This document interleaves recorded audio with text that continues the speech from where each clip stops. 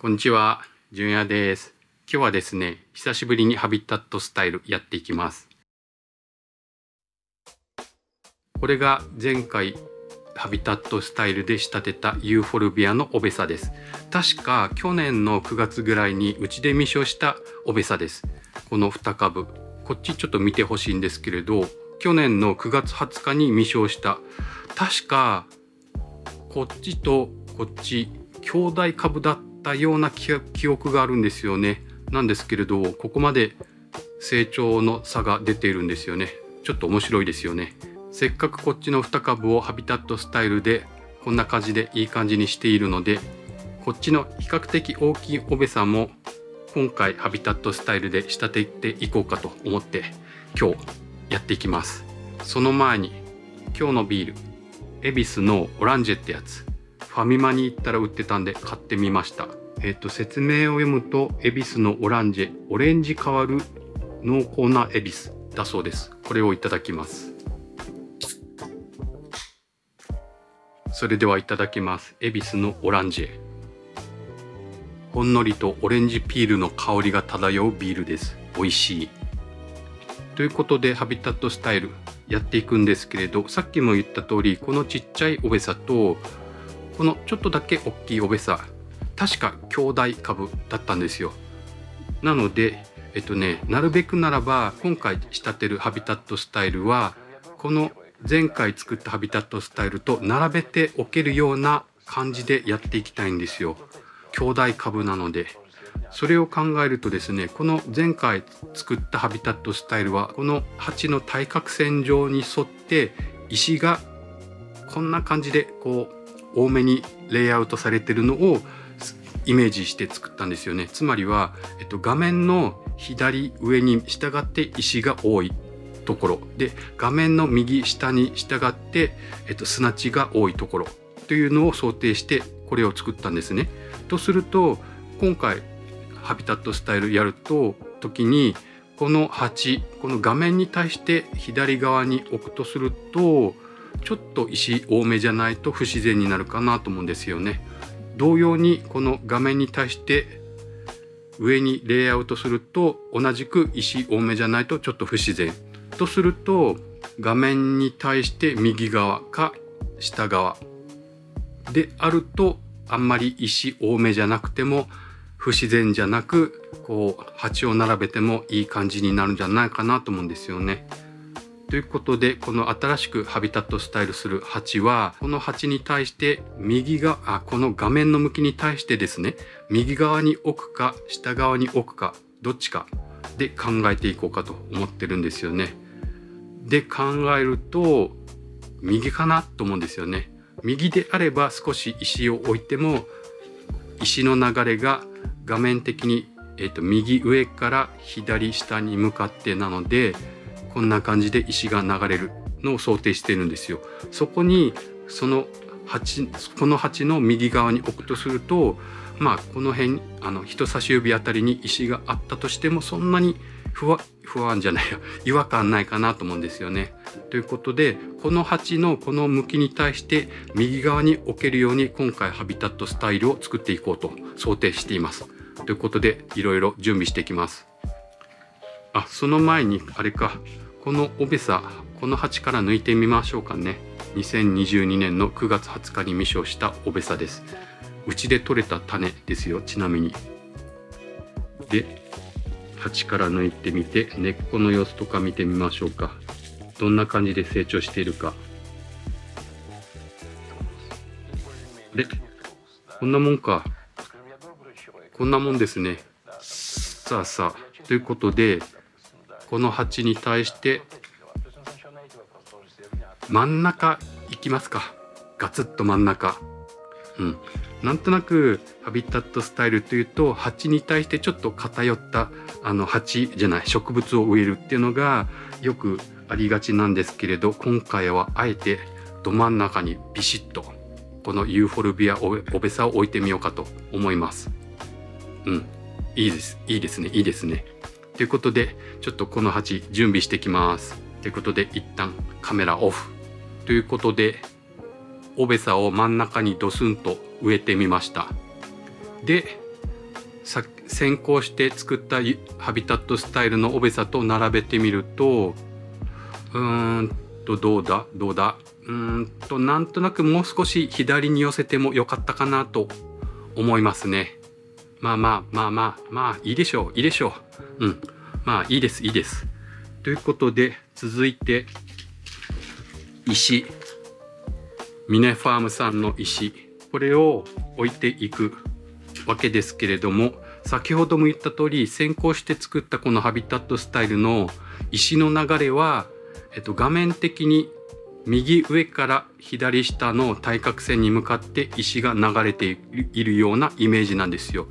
つまり左下いいのか左下にかけてちっちゃい石で右上にかけて比較的大きい石がこう流れてできているというようなイメージなんですよね。なので今回仕立てるハビタットスタイルの鉢はですね石の大きさ的にはこれぐらい？これぐらいの石を置いていくえっとねこの鉢に対して左上に置いていくのが並べた時に違和感なくなるなくなるんじゃないかなと思うんですよね。ということでそれに見合う石を探してみましょう。おもう早速見つかっちゃったな。早速見つかったぞ。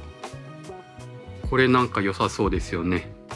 ちょっとドカンとした大き大きめな石です。石ですこれをあ意外に難しいな。ちょっと待って。この石の肌と面を合わせた方がいいと思うんで、うん、こっちをこっちを向けた方がいいですね。とするとこうだな。こうです。あ来た。いいんじゃないでしょうかね。いいですね。いいですね。これでいいです。決まりです。こんな感じで今回仕立てるハビタットスタイルの石はとりあえずこの一つだけにしておきます。うん、いいですね。はい。で、ここの上にこの砂を敷き詰めていきます。割と地味な作業。あ、そうだそうだ。あとですね、その前回作ったハビタットスタイルもですね、ちょっとね、この辺砂が落ち込んじゃってるので、補強のために少し砂を足します。まずはこっちからですね。割と地味な作業です。そうそう、地味な作業をしてる間にちょっとお話を。と10月22日の、えー、っと日曜日園芸イベントボタンの市に秋の陣が開催されるわけで、えー、っと一昨日の10月13日にチケット販売しました。で今日10月15日日曜日に A 枠 B 枠 C 枠ともチケット完売いたしました。皆様本当ありがとうございます。ありがとうございます。いやすごいですね。チケット完売ですよ。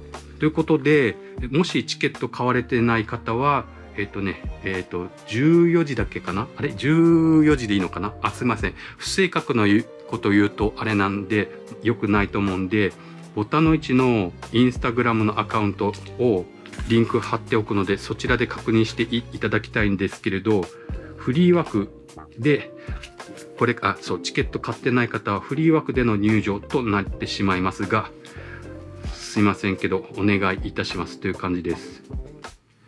でなんで自分出店でもないのにこんなこと喋ってるのかっていうとちょっと裏方でお手伝いをしてるわけなんですよ。ちょっと一旦録画中止します。録画再開。そう裏方としてお手伝いしているのでこんな感じでボタンの位置の宣伝をさせていただいただいてるっていう感じなんですよ。まあそういうことで A 枠 B 枠 C 枠完売ということで皆様本当にありがとうございます。そうそうでですねあの自分あれなんですよ前回っていうか少し前にえっと、ステッカーと名刺を作ったんですよ。なので、もし、えっと、ボタンの位置の会場で自分を見かけたら、よ、よろし、よかったらでいいんで、スケ、ステッカーと名刺をもらってやってください。声をかけていただければ、喜んでお渡ししますので、そちらの方もどうぞよろしくお願いしますテッカーと名刺結構今回いい感じのものがいい感じのデザインができたとできたと思うんで、うん、これはなかなかいいものだと思うんですよ。ということでステッカーと名刺ももらってやってくださいという自分の宣伝でした。あそうそう。何の説明もなく作業し始めちゃいましたがさっきさっきも言った通り先行して作ったハビタットスタイルちょっとねこの辺の砂が埋もれてきちゃっていたので補強で補強のためにちょっと砂を足しました。でこちらの方もいいですね。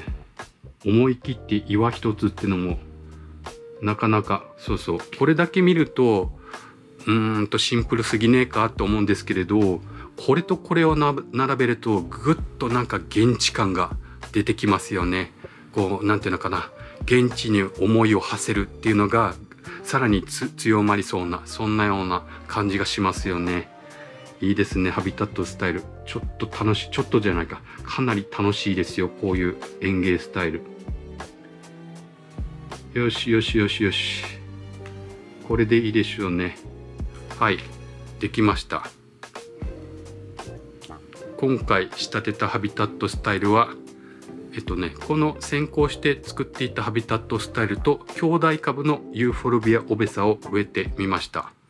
この後水をかけかけてこの、えっと上にかけた、えっとサーフェイスサンドを鳴らしていきます。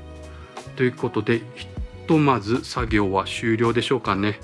ちょっと水をかけてきます。ということでまた一旦録画停止。はい。ということで水入れてきました。ちょっとこっち水さしたばっかりなんで若干冠水気味ですけれどまあそのうち慣れます。慣れますっていうか水は、えっと、ちゃんと浸透します。ということでどうでしょうかね。自分としてはもうちょっとこのおべさは左に寄っていてもよかったかなと思うんですけれどまあこれはこれでいいんじゃないかなと思います。ということで今回2回目のハビタットスタイル。これだけ見ると割とシンプルかと思うんですけれど前回仕立てたハビタットスタイルと並べるとググッとこうなんか雰囲気が出るんじゃないかなと思います。いかがでしょうかね皆さん。こんな感じで第2回目のハビタットスタイルやってみました。いやほんとハビタットスタイル面白いですね。うん。今回もですねこの人気植物ハビタットスタイルほぼ晴天と言ってもいいと思うんですけれどこれを参考にしながら作ってみました。こんな感じ。でこの本持ってる方だったらなんとなく共感していただけると思うんですけれどなんかなんていうかな、こう、このフィツムが欲しくなっちゃいません？これ言って、この本持ってる方だったら言ってる意味がわかると思うんですけれど、このフィツム、そうそう、欲しくなるんですよ。この本見てると。具体的にあんまり言えないんですけれど、このフィツムを買ってハビタットスタイル仕立てたくなるなっていう本なんですよ、これが。自分的にこのフィツムなんかいいのないかななんて思っていたりするんですよね。ということで脳書きはいいや第2回目のハビタットスタイルこんな感じで仕立ててみましたっていうのとボタンの位置に秋の陣チケット完売 A, A 枠 B 枠 C 枠のチケット完売のお礼の動画でした。